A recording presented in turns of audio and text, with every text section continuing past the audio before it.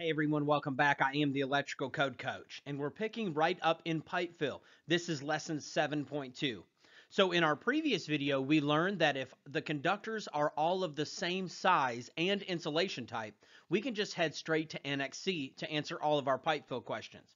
But when they're not, we're going to learn about what to do today. We're going to learn about Chapter 9, Table 4 and Chapter 9, Table 5. First, let's learn about Chapter 9, Table 4. It's on page 680 of the 2017. It's on page 696 of the 2020, and this video is 2023 compatible, so you find your page number for Chapter 9, Table 4. If you've used the Mike Holt tabs that we recommend, you're going to have a Chapter 9, Table 4 tab, and you can flip there now. Let's get to it. When we get to chapter 9, table 4, we're going to find that all of these tables look almost identical, and the only distinction is the name of the type of conduit at the top of the table. You'll notice that the very first one is EMT, and then it goes down to a bunch of familiar friends in conduit, our RMC, Schedule 80, Schedule 40, and all of those different types if you get our pro version to the program, we have a video called the strategic highlighting video that will show you how to strategically highlight these tables to make them pop.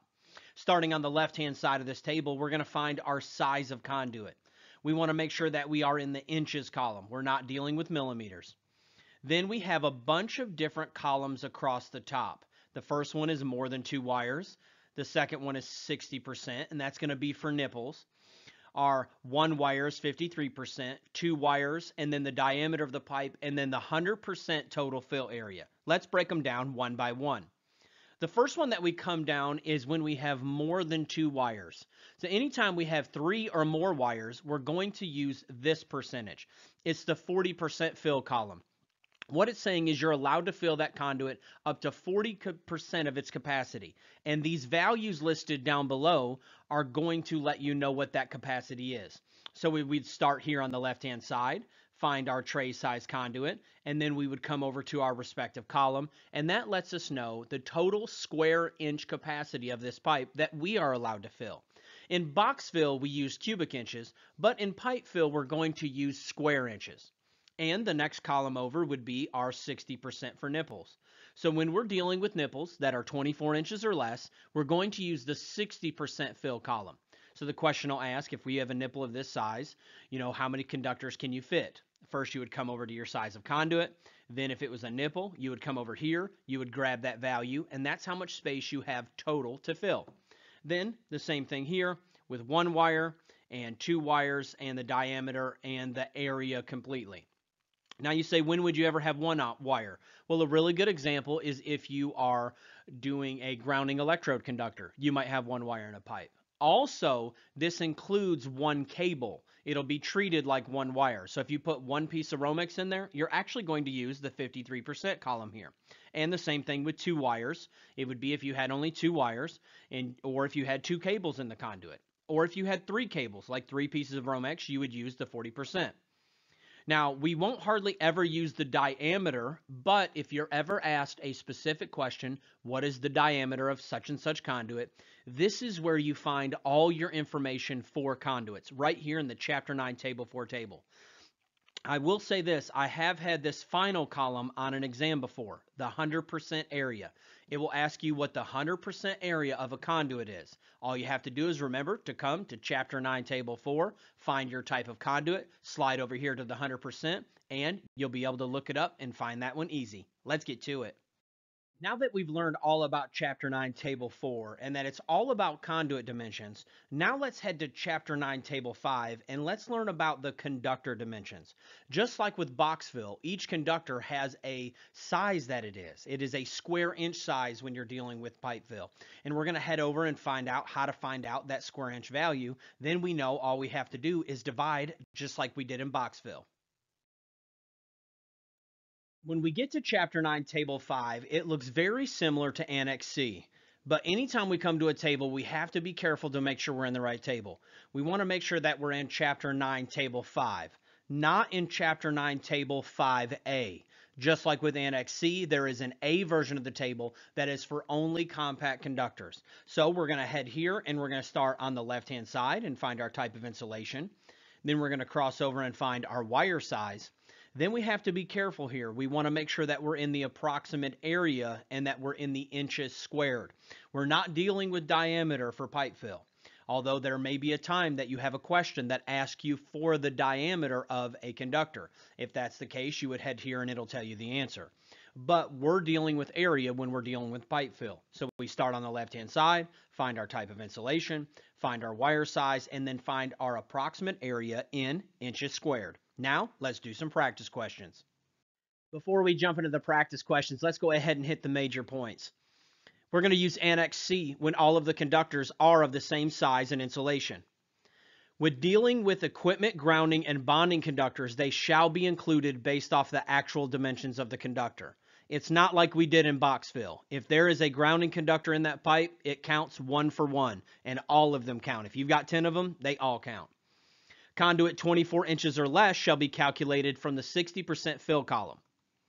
A combination of conductors of different sizes shall use the actual dimensions from table 5 or 5A if they're compact conductors, and then we're going to use the dimensions of the conduits listed in chapter 9 table 4.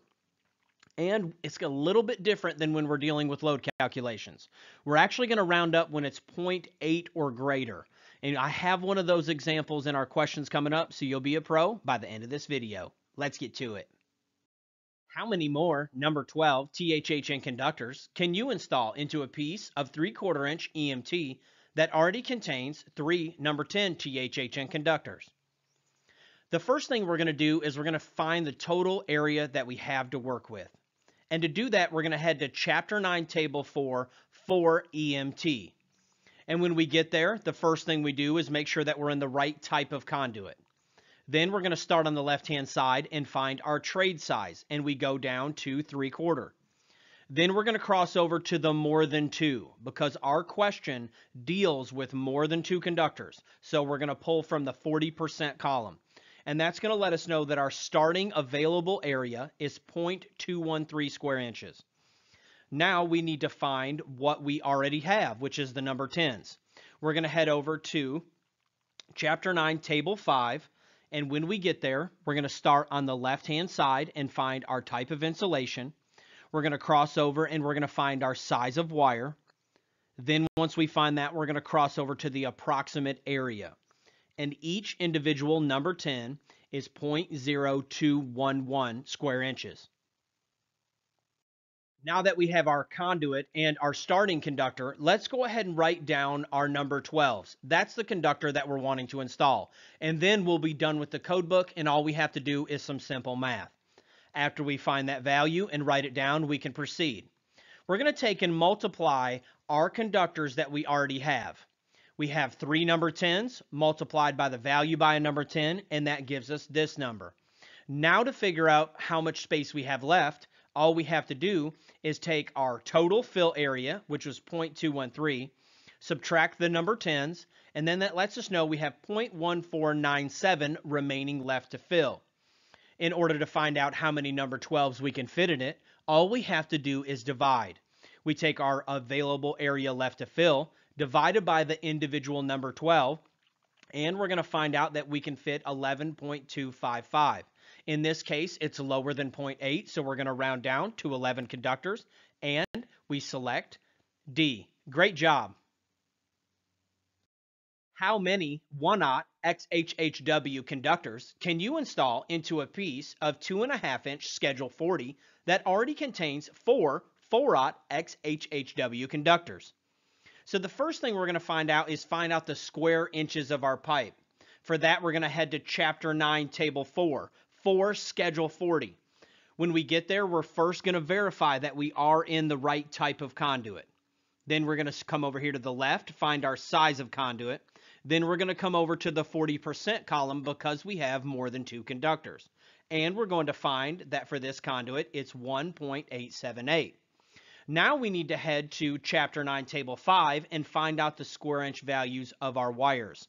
When we get there, we make sure that we're in Chapter 9, Table 5 and not Chapter 9, Table 5A. Coming down the left-hand side for the type of insulation, then finding our wire size, then we come over here to the approximate area in square inches, and we find its value. Now that we have our conduit and our starting conductor, let's go ahead and write down what the conductor that we're wanting to install is. And it's 1-aught XHHW. Now we can start all over. We multiply by how many conductors that we already have. We have 4 multiplied by the value for a 4-aught, and that gives us this number. Then what we're going to do is take our total area that we were able to fill and minus what we have, and that lets us know what we have remaining left to fill. Then all we have to do is divide. We take our remaining left to fill, divide by our individual 1-aught, and that lets us know that we can fit 3.28 conductors. We are below 0.8, so we're going to round down, and we find that we can fit three more in the conduit. How many number 12 THHN conductors can you install into a 20 inch nipple of EMT that already contains three number 10 THHN conductors? First, we're going to find the square inches of our pipe. We found out previously that table 1 tells us for nipples that are 24 inches or less, we are going to use the 60% fill when using EMT. So how we find out what the 60% is, is we're head, we'll head to chapter 9, table 4. First, we will verify our type of conduit to make sure we're in the right conduit. Then we're going to start on the left-hand side and find our size of conduit. But then we need to cross over to the 60% fill because this is a nipple. And we find that it's 0.320. Now we can finish the problem like normal. We're going to head to chapter 9, table 5 and find out the square inch value of our conductors. When we get there, we verify we're in 5 and not 5A. Then we're going to come down and slide on the left-hand side, come over to our size wire. Then we're going to come over to the approximate area, and we're going to find that it is 0.0211. We found out our pipe. We found out our starting conductor. Let's go ahead and write down the conductor that we're wanting to add while we're right here in the table. Now, all we have to do is multiply. We take our original conductors, which was 3, multiplied by its value, and that gives us this value. Then all we have to do is subtract from our starting value. Our starting value was 0.320. Now all we have to do is minus what we already have, and that lets us know that we have this much remaining left to fill. Then, to find out how many more we can fit, we simply divide. We take our available left to fill divided by the conductor that we're wanting to install, and that lets us know that we can fit 19.3. We're going to round down again, and we are going to select B. Great job. The next three sample questions are going to go a lot faster. It's assuming that you've already learned how to use these tables. I'm not going to be showing them on the screen. How many more 2-aught THHN conductors can you fit inside of a piece of 3-inch Schedule 80 PVC if it already contains 5 1-aught THHN conductors? Well, what we're going to do is we're going to go to Chapter 9, Table 4 and find our pipe. Then we're going to find the appropriate column based off of our number of conductors and we're going to find that for 3 inch, here is the value. Then we're going to go find our type of insulation in Chapter 9, Table 5. Go ahead and get all of the values for conductors that are involved. First, we're going to take our known conductor, 1 aught, and we're going to take and multiply it by 5, and that's what we're already filling of this pipe. Then we're going to take and minus our total fill, minus what we already have, and that gives us our remaining left to fill. Then we take our 2-aught conductor and we divide it out, our remaining left to fill by the conductor that we're wanting to install. And we're going to find that we can fit 7.4. Again, we're going to round down because it's less than 0.8. And we're going to select B. How many more number 10 THWN dash 2 conductors can you fit inside of a piece of 3 quarter inch Schedule 80 PVC that already contains three number 12 THWN dash 2 conductors? We're going to head to chapter 9, table 4 and find our pipe. We're going to find the appropriate column based off the number of conductors, and we're going to find this value for a piece of 3 quarter. Then we're going to head to chapter 9, table 5 for our conductor properties, being sure to write down all the values that we need. First, we're going to take our number 12 that we already have, multiply it by the 3 that we already have, and that gives us this value. Then we're going to take our total available to fill, minus what we already have, and that gives us this for our remaining left to fill. Then we just take that and divide. We divide that out and we find that we can fit 5.88 conductors. And in this case, it is 0.8 or larger, and we will round up to 6. Great job. What is the total area in square inches of a piece of 1 inch flexible metal conduit? For this one, we're going to head straight to Chapter 9, Table 4. When we get there, we're going to verify that we're in the right type of conduit. Then we're going to start on the left-hand side and find our size of conduit. Then we have to cross all the way over to the 100% fill area. I have been tested on this in the past, so it's good to be familiar with using this table on all spectrums. And in this case, we're going to select 0.817. Great job. That's the end of lesson 7.2. Thank you for joining us. I am the electrical code coach, and you can head over to electricalexamcoach.com and take our free version, or when you're really ready to get your license or take your career to that next level, you can get our pro version, which will unlock all of the quizzes, practice tests, and all of the other pro features. Anytime, completely for free. You can always email me at electricalcodecoach at gmail.com if there's any way that I can help you in life or business. Let's get to it.